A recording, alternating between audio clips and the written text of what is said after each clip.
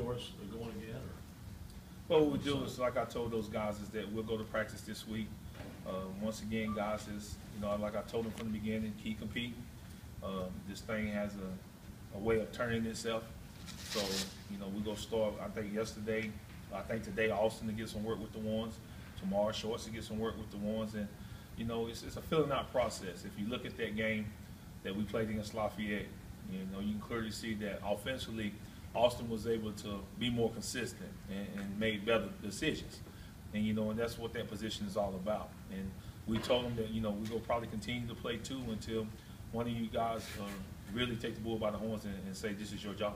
Were you, were you surprised how well Austin played? I mean, he was playing against one A teams in high school last year, and then all of a sudden he's playing against one of the, you know, probably top forty teams in the nation, FBS, and looked pretty good. Did that surprise you? Well, no, because, you know, all throughout camp, you know, I think that's why we set the depth chart the way we set it is because he showed signs that, that, you know, he can be a pretty good quarterback. One thing he can do is make, he can make all the throws. He got a mm-hmm. strong arm, a live arm.